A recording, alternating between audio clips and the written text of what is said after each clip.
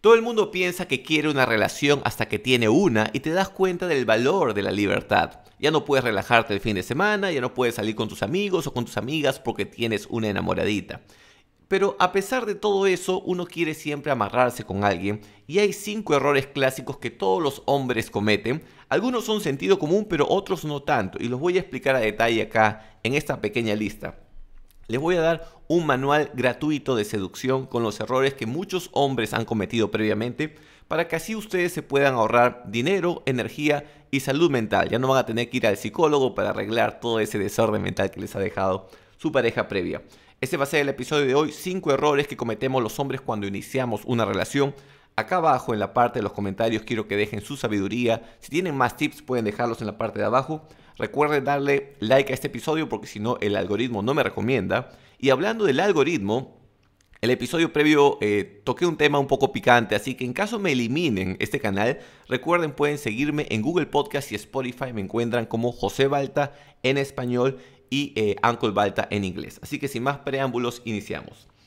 Error número uno es sin oxígeno no hay fuego. Cuando uno empieza una relación quiere estar con la flaca todo el tiempo llamaditas a cada rato, la buscas todos los días.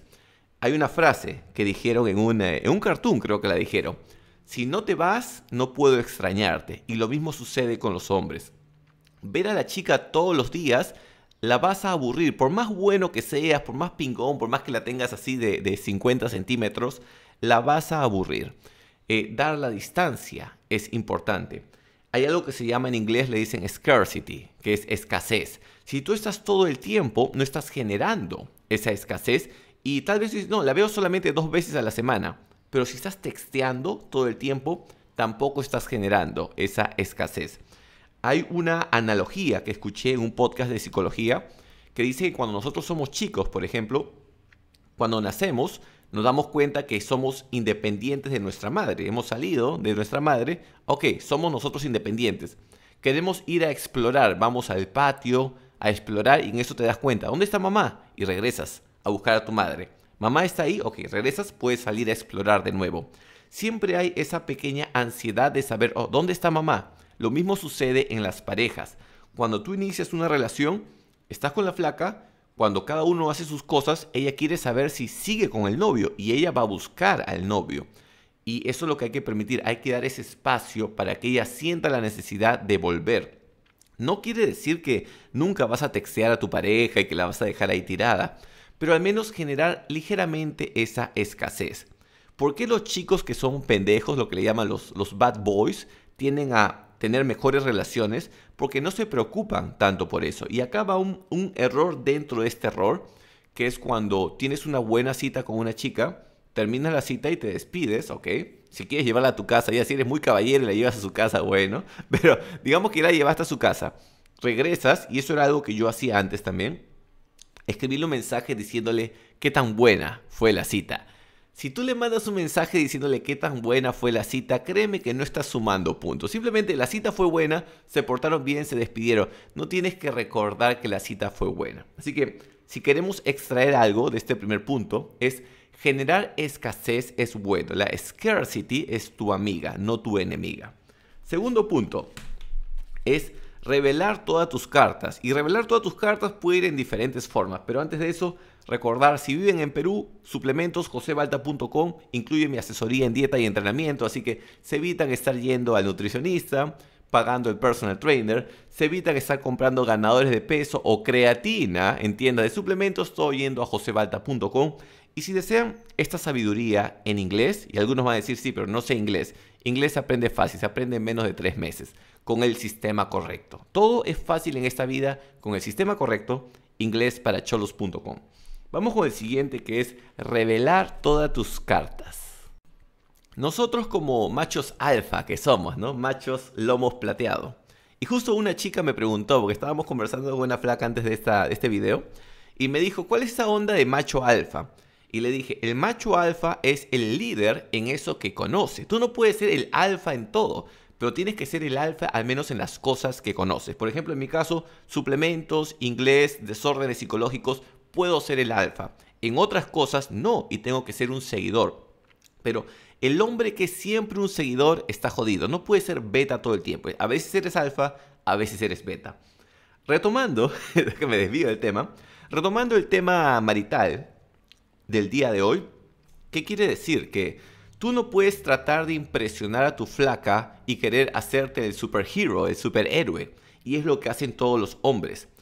La quieren impresionar con tres cosas. Información, llevándola a lugares caros y con experiencias. Con información es, le sueltan toda su información. Yo hago esto, esto, esto, esto y esto. Entonces ya sabe la flaca a qué te dedicas todo lo que haces, ya te conoce.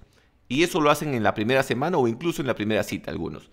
La segunda, la quieren llevar solamente a fancy places, a lugares caros para eh, eh, impresionarla. ¿no? Mira, estamos viendo restaurantes caros, a hoteles caros, y luego quieren darle la mayor experiencia que por lo general en el caso del hombre sexual.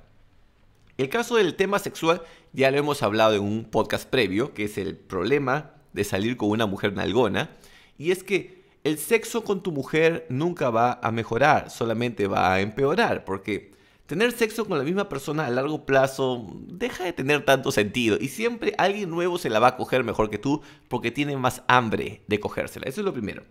El tema de los fancy places es que si siempre la llevas a lugares caros, asumiendo que eres un humano promedio, en algún momento te vas a quedar sin dinero.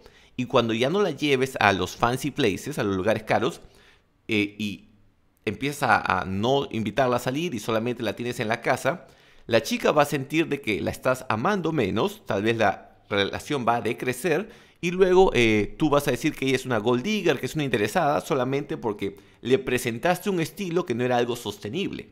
Por eso es bueno mostrarte con un nivel que puedes mantener. Y el tema de la, de la información.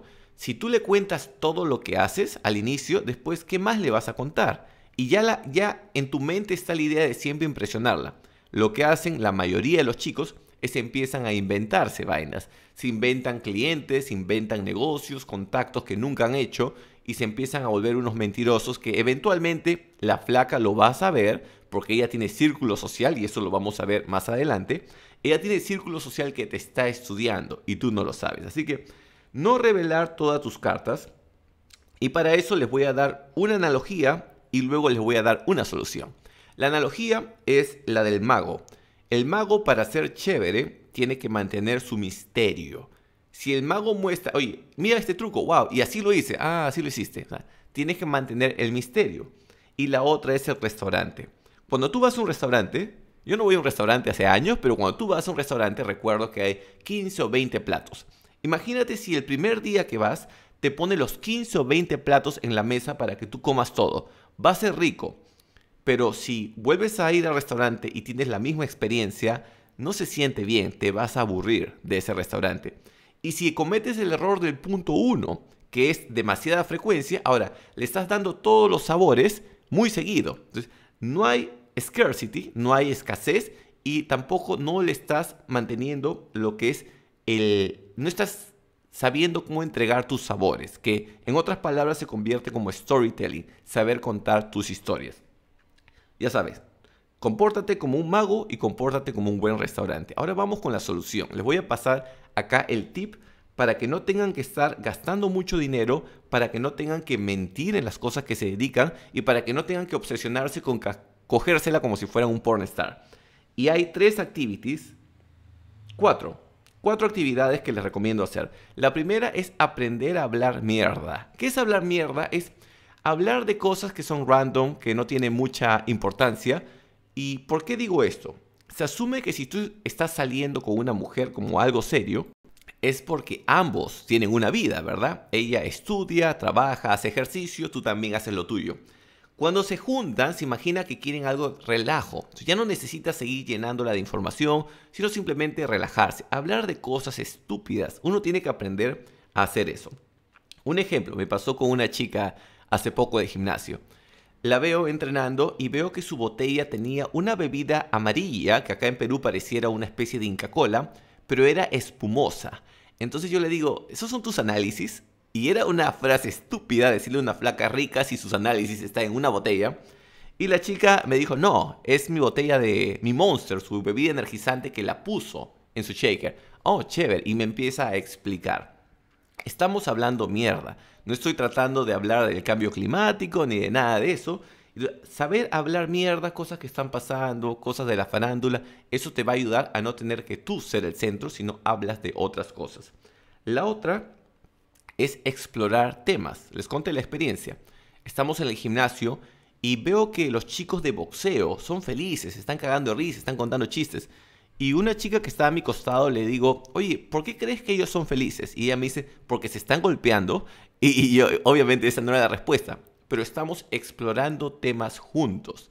Ambos, y cuando tú exploras temas juntos con una mujer, lo interesante acá es que estás tocando puntos que nadie ha tocado en ella. Le pueden haber dado sexo anal, se la pueden haber cogido tres huevones, pero es muy probable que nunca un hombre ha explorado temas con una mujer y ahora estás yendo más a fondo en ella. Y la otra es aprender a poner tu bola en su cancha. ¿Qué es poner tu bola en su cancha? Es hacerle una pregunta, ¿qué tal te fue hoy? De las actividades. Hay una de ellas que va a ser interesante. Y si no es interesante, la puedes volver interesante. Y empiezas a preguntar, oye, ¿cómo fue esto? Y cuando ella esté hablando, la dejas hablar, pero acá viene el tema donde muchos cursos de seducción fallan. Sí, déjala que hable, pero no, no solamente que hable déjala que hable, pero ponla en situaciones que sean a veces un poquito incómodas, un poquito alegres, para que ella tenga emociones. Si ella tiene emociones mientras habla, ahora está sumando puntos, y tú te estás rascando los huevos porque no tienes que estar contando cosas tuyas. Para resumir todo lo que estoy diciendo, estás dejando de ser el centro y más bien ella está siendo el centro en algunas ocasiones o situaciones paralelas están siendo el centro, pero tú casi nunca eres el centro y solamente vas a ser el centro cuando ella te haga preguntas, porque si le gusta siempre te va a hacer preguntas y ese es otro tip. Pasamos con el siguiente, el punto 3, y este, este es mi favorito de todos, es competir con sus amigos machos. A, todo esto, a este punto, em, no doy clases de seducción, porque a veces cuando hago temas maritales me piden curso de seducción. No tengo curso de seducción. Tengo dos audiobooks. Uno se llama cómo dejar de ser una putita, donde les enseño a tomar riendas de tu vida y dejar, dejar de depender de otras personas. Y tengo otro que se llama la eyaculación eterna, donde te enseño a monetizar tu pasión. Si tú sabes cómo monetizar tu hobby, la vida va a fluir mucho mejor. Y al tema de las hembras y conseguir novia, les puedo decir, una vez que encuentras tu misión en la vida, te vas a percatar que empiezas a conseguir más mujeres porque estás contento y eso se transmite. Gente feliz se van a sorprender que no, no hay mucha gente feliz en estos días, todos tienen problemas mentales. Y nuevamente scarcity. Si falta algo, que falta alguien que esté contento con su vida, eso va a atraer a las chicas. Así que ya saben, audiobooks, temas de suplementos, suplementos solo a Perú, el tema de inglés y a cualquier parte del mundo porque lo manejo online todo a mi WhatsApp más 51 9890 23 986. Solamente para temas de eh, comprarme mis vainas. Eh, no necesito sponsors. Agradezco a la gente que me ha mandado ofertas de sponsors. Tengo un punto que puedo analizar de eso más tarde. Pero solamente para comprarme mis vainas les dejo mi WhatsApp. Competir con sus amigos machos. Punto 3. Tú crees que tú eres el mejor hombre que tu flaca conoce y por eso te has vuelto su enamorado, ¿verdad? Y sí, eres el mejor hombre entre el grupo que la quiere formalizar. Viene el punto. O sea, hay otros hombres que no la quieren formalizar, pero cuando ella los ve, su panocha así la, aplaude como foca. Su escuerto le hace ataque chorro, así se la humedecen. Se humedece de solamente verlos. Se humedece de ver que en su notificación de WhatsApp el chico le ha escrito. Pero ese chico nunca va a estar con ella, nunca la va a formalizar.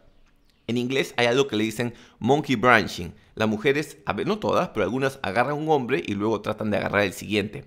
La rama de este tipo que la humedece es así, es gruesa, 30 centímetros, es gigante, pero esa rama ya tiene muchas manos. Tu ramita de 8 centímetros está disponible para ella. Ella prefiere tu ramita de 8 centímetros a esta rama gigante que ya está muy ocupada. Y si es que ella agarra esa rama, la va, a, la va a poder agarrar solo por unos días y después la va a tener que soltar. Entonces prefiere tu ramita. Pero volviendo al tema de competir con los amigos hombres, es que cuando tú vas a juntarte con una mujer y conoces su círculo, van a haber muchos chicos que son como que protectores del círculo y van a querer retarte en cosas. Y uno que se cree un macho vas a aceptar todos los retos y nunca lo vas a hacer. Acá hay unos ejemplos de retos, por ejemplo. Muy probable la chica tiene un amigo que es el peleador, digamos el boxeador. El boxeador te va a retar en boxeo, obviamente. El corredor de autos te va a retar en carreras. El drogadicto slash eh, party guy, el, el fiestero, te va a retar en ir a fiestitas. Tú nunca compites, nunca aceptas ninguno de estos challenges. Y te los digo porque yo antes salía con, chicas, ahora prefiero eh, relaciones así al paso nomás, pero antes sí tenía relaciones largas y siempre era eso. Iba un grupo y todos me estaban retando. Y era como que, no, ¿sabes qué? No, no compito. Al no competir, ¿qué sucede? Tu flaca dice, este tipo es tan seguro de sí mismo que no necesita probar su valor con los otros patas. Y así te evitas el problema, ya no te distraes. Y no solamente eso, van a haber algunos que van a tratar de competir contigo de todas maneras, pero van a tener que hacerlo en lo que tú eres bueno, porque tú no quieres ir al área de ellos. Así que, pequeño tip, nunca competir con los amigos de tu flaca. Y acá hay otro tip que se me acaba de ocurrir. Tal vez ella en algún momento empieza a hablar de un hombre, empieza a hablar de un tipo y eh, se emociona. Puede ser que le dio un ataque de honestidad. Lo más probable es que le gusta el tipo, pero nuevamente no necesariamente el tipo la quiere formalizar. Cuando una mujer te habla de un tipo, nunca te molestes, nunca trates de hablar mierda del tipo, sino juega el rol del amigo, empieza a escuchar todo lo que ella dice. Con esto que logras que ella se expanda, que siga hablando y tú puedes escuchar, ok, por acá va la vaina. Aparte, digamos que ella lo hace por joderte, porque algunas lo hacen, lo menciona para subirte la valla. Oye, mira, mi, mi, jefe se compró este carro, mi amigo eh, se compró su depa. ¿Y para qué lo hacen? Para a veces este, bajarte la llanta. A algunas mujeres les gusta bajarte la llanta para controlarte mejor. En ambos casos, ambos escenarios, si tú dices, oye, qué chévere, qué bueno que tu amigo haga eso, ¿a qué se dedica? Te, te muestras interesado. Si al inicio era solamente un tema de amistad, que ella lo contaba porque simplemente te está contando algo, pasa piola. Y si ella quería joderte, nuevamente se va a dar cuenta que no puede joderte porque te vale verga. Te vale verga que sus amigos estén comprando departamentos o comprando carros y más bien lo aplaudes. Pasa todo piola. Vamos con los últimos dos puntos que es, eh, le llamo family and friends, familios, familia y amigos. Tú eres tan fuerte, eres tan fuerte como tu tribu. ¿Y tu tribu quién es? No el 100% de tu familia y amigos, pero algunos familiares y algunos amigos. Este error ya lo saben cuál, ya saben qué es. Es querer pasar todo el tiempo con tu flaquita. Y podemos ir al punto número 2, que es tratar de impresionar a tu flaquita. Y para impresionarla, ¿qué hacen? Toda tu plata la gastas solamente en tu mujer. No quieres salir con tus amigos porque es gastar dinero. Y ese dinero lo podrías gastar con tu flaca. Nunca te alejas de amigos y familia por varios motivos. Los amigos y familia te dan contactos de negocios, a menos si sabes utilizar a los amigos y familia. Luego te dan nuevos temas para hablar. Aparte, eh, si digamos en algún momento van a estar, vas a estar hablando con tus amigos o familiares y van a tocar el tema de la flaquita. Eh, ¿A qué se dedica? A esto. ¿Dónde estudia esto? Oye, yo tengo un amigo que estudia en esa zona. Yo tengo un amigo que trabaja en esa empresa. Y vas a aplicar lo que las flacas te están haciendo a ti, que es el círculo social. Vas a tener ojos donde está ella que pueden verla y pueden darte una imagen que tú no puedes ver. Una cosa es la imagen que ella te da para ti y otra cosa es la imagen que ojos, aparte de los tuyos, van a poder ver y van a poder darte feedback. Un culo de veces, no me ha pasado con, enamoraditas, pero con compañeras sexuales, que salía con ellas y a veces ellas me jodían, no, que por qué sigue saliendo con otras mujeres. Y después amigos me decían, oye, pero ella se acuesta con todo lo de la facultad. Entonces, eh, no estoy diciendo que la chica sea mala, pero es curioso como gente que a veces tiene una vida de muchas parejas sexuales te quiere exigir a ti que tú no tengas parejas sexuales, pero ese es episodio para otro día. Y el último punto, el último punto es, eh, y esta es la parte romántica, acá cuando todos nos agarramos el, corazón, es que más importante que ser pareja es ser un team, ser un equipo. Eh, y esto funciona para la familia también. Yo eso lo digo siempre con, con mamá Ledesma.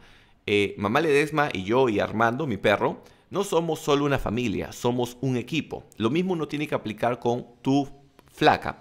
¿Cuál es la diferencia entre una pareja y un equipo? Que el equipo tiene una misión en común y el equipo se cuidan entre ellos. Si tu flaquita, por ejemplo, cada vez de que salen juntos, ella está tratando de ayudar, eh, ella no va a pagar por ti, yo soy así macho a la, a la mentalidad antigua, ¿no? Donde el hombre debería pagar, pero al menos trata de ayudarte con contactos para que te compren tus vainas. Cuando ella sabe más de algo, trata de ser la líder y cuando tú sabes más de algo, trata de ser el líder. O sea, ambos son una pareja fuerte. Se apoyan cuando pueden y uno es el líder cuando tiene sentido y el otro cuando le toca eh, ser el líder. Básicamente es apoyarse mutuamente y es la única manera de que sea sostenible.